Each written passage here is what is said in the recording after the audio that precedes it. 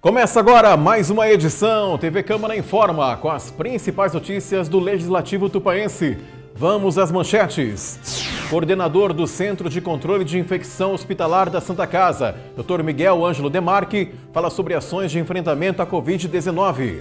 Através de empenho do vereador Luiz Alves de Souza, a Associação de Bairros Unidos Venceremos se filia à Federação Paulista de Atletismo. Está no ar mais uma edição TV Câmara Informa com as principais notícias do Legislativo Tupaense.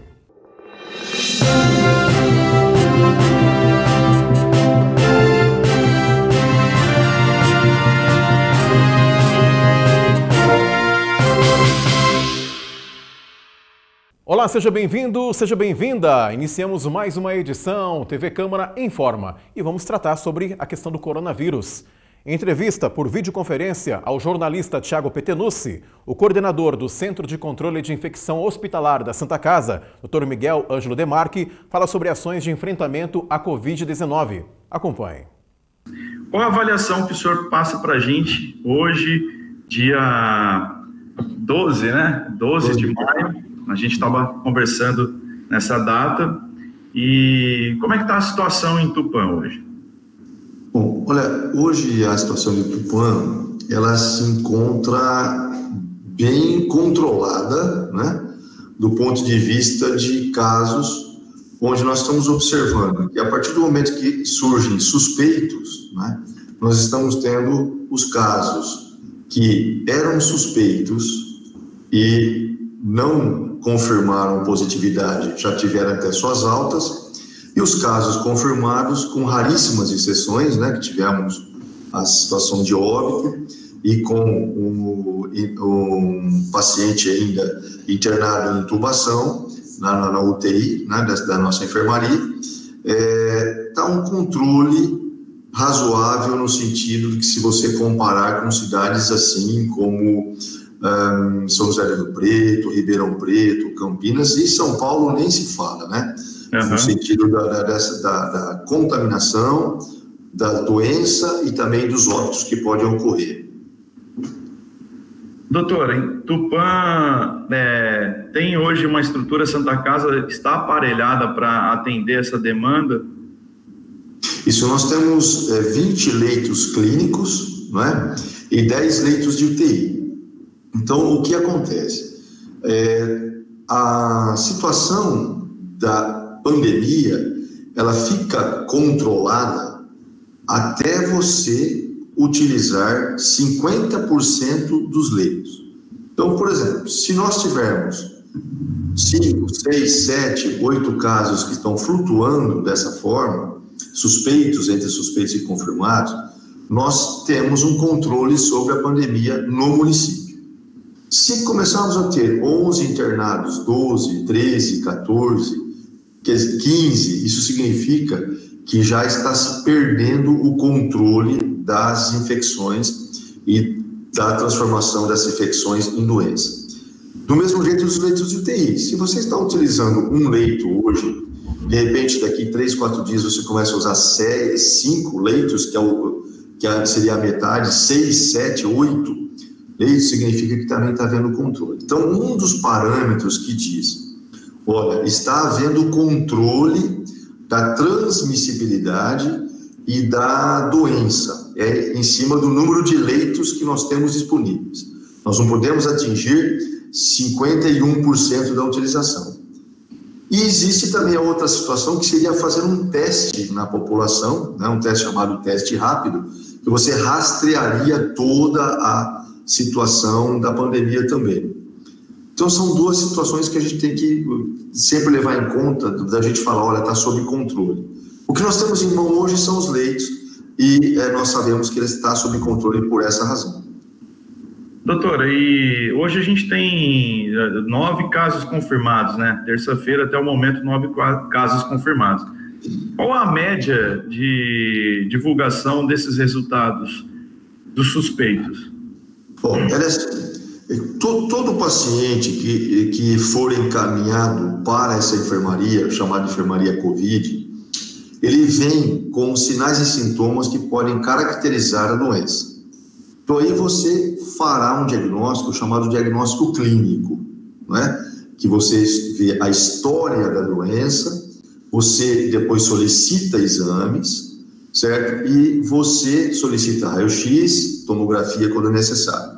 Você aproveita e já faz uma história epidemiológica, quer dizer, onde você mora, com quem você mora, onde você se deslocou ou você não se deslocou, tá? E nesse espaço de tempo você aguarda os exames que são fundamentais para você fazer o diagnóstico. Qual que é o exame mais importante? Chama-se PCR. É um teste que você colhe pela secreção nasal orofaringe, tá certo? E aí é, é feito uma no laboratório uma duplicação desses vírus para saber quantos vírus estavam naquele local. E aí você vai dar uma positividade. Então esse teste fecha o diagnóstico complementar, tá? É. Mas é possível que esse teste ele seja colhido ou muito antes do vírus se transformar em positivo ou muito depois. Porque o que, que acontece? Quando nós estamos em contato com alguém que tenha o, o coronavírus, essa pessoa, porventura, tossir, espirrar, pegar na nossa mão e a gente acabar levando também a nossa mão ao nosso, nosso nariz, nossa boca, é, nós adquirimos uma carga de vírus, uma quantidade de vírus. Tá? Aí esse vírus ele vai se desenvolvendo na nossa orofaringe, né? E depois ele entra na corrente sanguínea nossa. Cinco a sete dias depois, ele pode começar a dar os sintomas.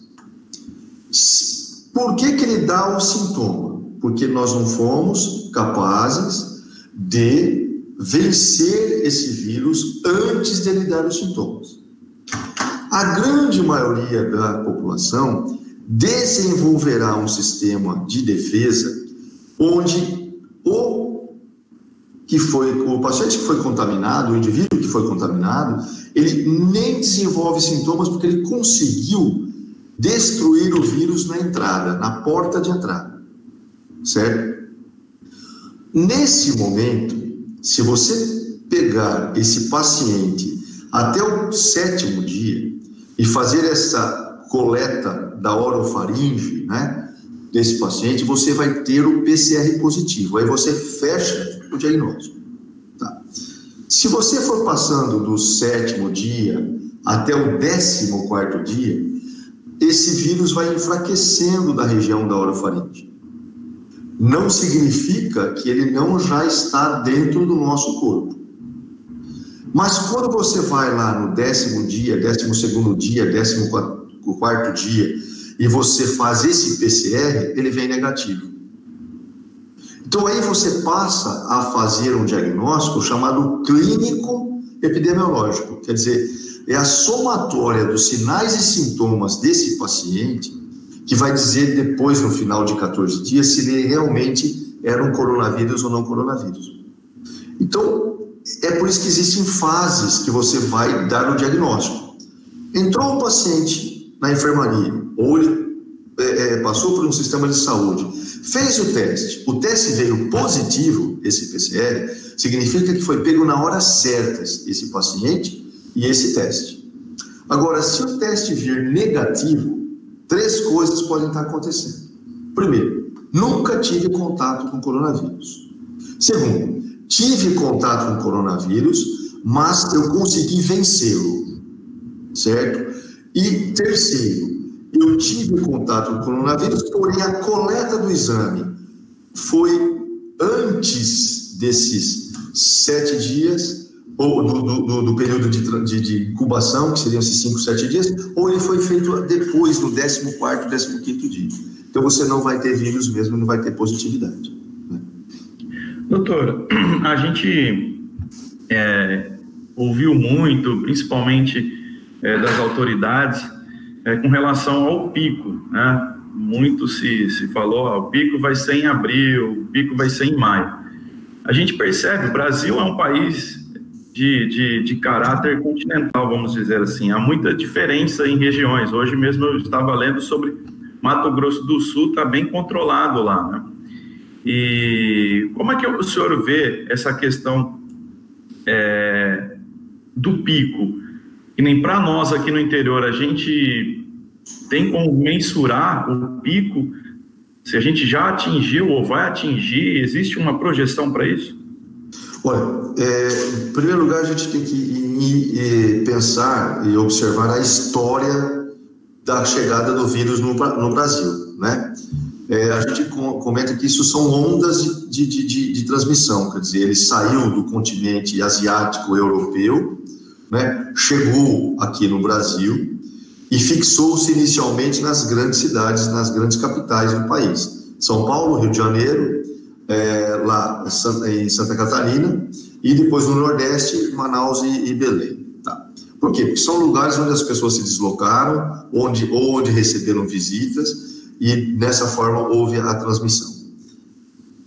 Para o interior, a distância nossa em relação ao interior já facilita o retardo da vinda do vírus. O vírus ele não vem é, voando pelo ar, quer dizer, ele vem por, por uma pessoa. Então, aquelas pessoas que se deslocaram para cá entre o mês de janeiro, mês de fevereiro, mês de março, desses locais, dessas comunidades, ou pessoas que foram para a Europa, para a Ásia, em visitas, em férias e tal, tudo mais, esse pessoal trouxe esse vírus, com certeza até para a região, só que em menor quantidade que nas grandes, nas grandes cidades, né? Então, o que nós estamos observando de que ou nós já passamos pela fase maior de transmissibilidade, quem tinha que se contaminar já foi contaminado, e agora estão aparecendo as, as, os doentes, certo? Ou nós estamos numa fase em que, pela determinação governamental anterior de se ficar mais isolado, distanciado e com uso de equipamentos como a máscara de proteção, você conseguiu reduzir essa transmissibilidade. Então, ainda vou dizer para você que até o final do mês de maio ou começo de junho, nós temos que estudar se nós realmente atingimos um, um platô, lá um pico, que provavelmente creio que não, ou se nós conseguimos achatar esse, esse pico e ficarmos num número razoável de doentes, num número cada vez menor de, de óbitos ou de intubados. O que se sabe é o seguinte: quando se há uma carga viral muito grande no indivíduo, ele pode transmitir até para três pessoas. Essas três pessoas vão transmitindo para mais três e assim sucessivamente. O ideal é que você tenha uma transmissão no máximo de uma para uma pessoa, e o mais ideal ainda é que não tenha essa transmissão. Doutor, a gente está é, vivendo uma semana de reabertura controlada é, das atividades comerciais aqui no município. E o que, que é preciso ser feito? A população, os comerciantes precisam fazer a lição de casa para evitar o contágio? É possível evitar o contágio adotando hábitos como a higienização correta das mãos, o uso de máscara, o distanciamento? Isso. É, é, vamos dizer assim, é, evitar é um termo muito, muito firme, né? Nós podemos dizer assim, reduzir, né? Reduzir. Nós conseguiremos reduzir muito a tendência a aumentar o número de casos, desde que utilize-se máscaras, tenha-se o álcool gel, é, houve uma necessidade de se lavar a mão por algum motivo, tenha-se um, um, local sanitário para que aconteça, isso. Por exemplo, nós dois, nós não estamos com máscara por quê?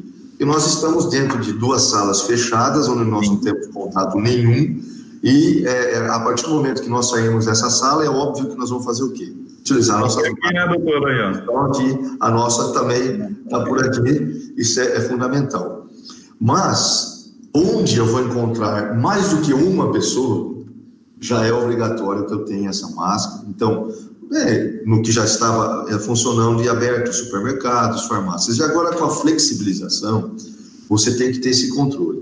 A gente está percebendo, observando que há ainda há lojas que já que ainda estão naquele esquema que o, o, o usuário daquela loja ele fica para fora e ele pede o que ele quer e aí se localiza.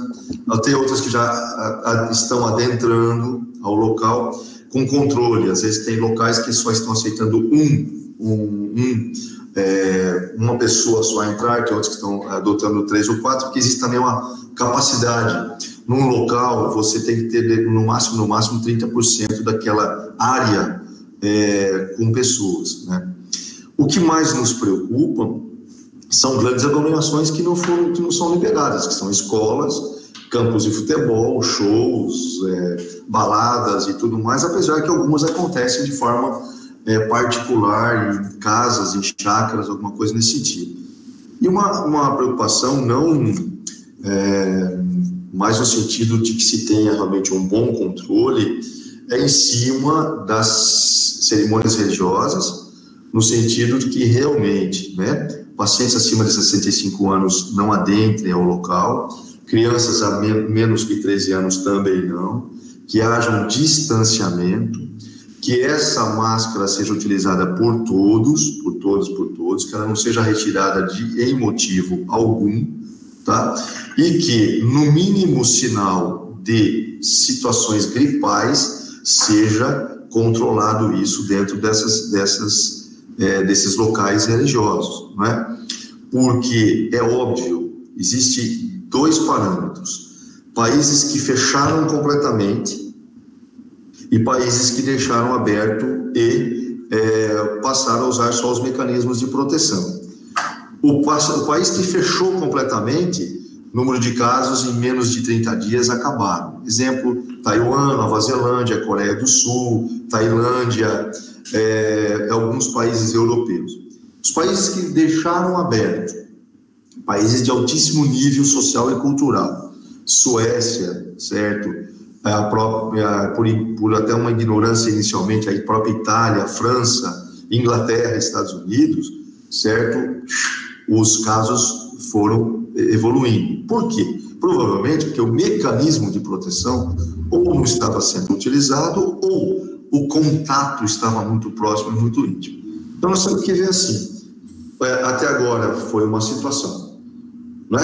Todo mundo ficou em torno de uns 40 dias aí, uma boa parte da população ficou mais reclusa, mais distante, certo? Outra parte se locomoveu. Agora nós estamos observando que as pessoas estão saindo um pouco mais, mas estão saindo mais com mais proteção, estão saindo com a proteção, certo? Então é a partir de agora que nós vamos observar se os casos vão realmente aumentar.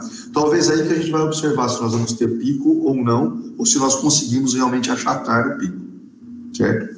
E, e há duas, duas situações para a gente ver.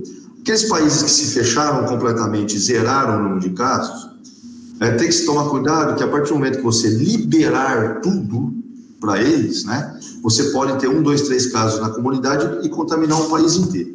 Aqueles países que liberaram, flexibilizaram com mais facilidade, você teve um número alto de casos, mas também a redução depois foi mais, mais característica e não foi preciso esperar a vacina para você liberar a população para viver. Doutor, o senhor tocou no ponto da vacina. A gente fica imaginando uh, se ainda esse ano a gente volta a ter a vida, vamos dizer assim, normal, né? E o senhor acredita que essas restrições que a gente tem que adotar, os novos hábitos, eles devem perdurar até a saída da vacina, a chegada da vacina no, no, no para a população? Quer dizer, o mundo não, não vai ser mais o mesmo enquanto não tiver vacina. É o que, assim, com certeza, porque é o seguinte: a vacina ela vai garantir para aquela população que não teve a contaminação ou que teve e não desenvolveu a doença de desenvolver os seus anticorpos. Mas está se estudando se realmente nós criamos anticorpos, né? E se realmente nós criamos imunidade, porque todo vírus ele ele tem o seu vírus ah, o tipo A, tipo B, tipo C, tipo D, tipo E, tipo F e vai indo. Exemplo, dengue, tem quatro sorotipos. Né? Então você pode ter um A e ficar imune ao A, mas o B, C e D não. E se você voltar a ter o A, você pode ter um hemorrágico. Né? Então, ainda não se tem um estudo da imunidade desse vírus. E, ali, e por isso que é, surge o primeiro problema. A vacina realmente vai imunizar? Quer dizer, o que é imunizar? Eu vou ter anticorpos que, se eu tiver contato de novo com o vírus, eu vou ficar só na fase 1. Quer dizer, veio, entrou, tipo, eu mandei embora. Certo? Ou, se essa imunidade será apenas por um ano, dois anos, também tem que ser pesquisado isso. Certo? É, você pode ver, ver que existem as vacinas para gripe todo ano, não é? Então, o que significa o quê? Significa que ela não imuniza mais do que esse ano, tá certo? E ela é feita também para aqueles que não tomaram. E as vacinas também, nesse sentido, são feitas para o seguinte: você é, é, toma essa vacina, você passa também a eliminar partículas daquele vírus que veio na vacina, para aquela pessoa que está do teu lado também se imunizar, às vezes, indiretamente. Certo? Então, isso tá, esse é o primeiro estudo. O segundo estudo que está sendo feito é o seguinte, que nem os, ah, os primeiros estudos ligados aos coronavírus, não é só esse dois, aos outros, eles mais matavam os animais do que é, sobreviviam. Mas agora parece que selecionaram uma cepa, realmente esse vírus que não causa essa destruição em animais, e está sendo estudada na Inglaterra com 500, é, 500 indivíduos que se mostraram é, a fazer esse teste para ver como vai evoluir. Então, olha, antes do final do ano, pode-se ter certeza que não há é, uma vacina propriamente dita, a não ser que, geralmente, França, Estados Unidos e Inglaterra são os três países que correm é, bem sorrateiramente, depois eles lançam a vacina. Né? Então, isso é um fator importante. Vamos ver que, se Deus quiser, se aparece a vacina com mais tempo. Mas os hábitos sociais são, vão ser totalmente controlados por muito tempo. Muito tempo. Por quê? Você não sabe da imunidade, você não sabe é, é, da, da, da, quantidade de vírus que você pode estar portando, certo? Então, as situações econômicas, biológicas, sociais e psicológicas em cima desse vírus é extremamente comprometedora, mas ao mesmo tempo não podemos entrar em nenhum tipo de pânico ou histeria por causa disso, mas a gente vai ter que saber conviver com isso. Só pontuando, hoje, dia 12 de maio, nós temos nove casos confirmados, né? Três Sim. pacientes já estão curados, infelizmente um óbito, e os outros estão em isolamento. Apenas um está na UTI? É, nós, temos o seguinte, na, na Santa Casa nós temos um paciente é, confirmado em UTI e um suspeito, quer dizer, a gente agora está adotando o seguinte termo, um paciente aguardando a confirmação do seu diagnóstico, também em UTI, né? É, mas os outros estão. Você ter uma ideia, nós temos hoje só quatro pacientes dentro da Santa Casa, dentro dessa enfermaria. Os, todos os outros, graças a Deus, foram ou para casa, ou estão isolados, ou outros. Já até tem alguns que já estão até no convívio social mesmo, no dia a dia. Tá certo. Doutor, gostaria de deixar alguma mensagem para os nossos telespectadores? Sim, a, a mensagem principal é o seguinte: vamos respeitar esse vírus, né? Ele não sabe nos respeitar, ele não nos conhece, por isso que ele, ele, ele está adentrando nós. Então vamos respeitar de qual forma? A, a forma do, da, dos mecanismos de proteção, das máscaras. Você tem por obrigação de usar nesses ambientes, nesses estabelecimentos, porque inclusive eles serão até multados, autuados, se caso eh, eh, for descoberto que alguém não esteja utilizando, certo? e principalmente a consciência da higiene das mãos, a consciência do, do uso dessa máscara e, e, também a proximidade que eu devo ter do meu próximo. Hoje impede o abraço, o beijo, a, o toque, tá certo? Mas você respeitando essa cadeia de transmissibilidade, você reduz a chance de outras transmissões de doenças graves, principalmente em quem? Em jovem, muito raro, a não ser que ele tenha alguma doença prévia, mas nos idosos, certo? Ou naqueles que têm doenças congênitas cardiovasculares, nos, naqueles que têm diabetes, nos asmáticos, nos hipertensos e naqueles que fazem tratamentos com drogas ou já com cânceres avançados. Tá certo, doutor, muito obrigado. É, Deus abençoe no trabalho, vocês aí que estão na linha de frente, realmente e que a gente possa passar por isso de uma forma menos impactante, né? E veja depois do intervalo. Através de empenho político do vereador Luiz Alves de Souza, a Associação de Bairros Unidos Venceremos se filia à Federação Paulista de Atletismo. Voltamos já.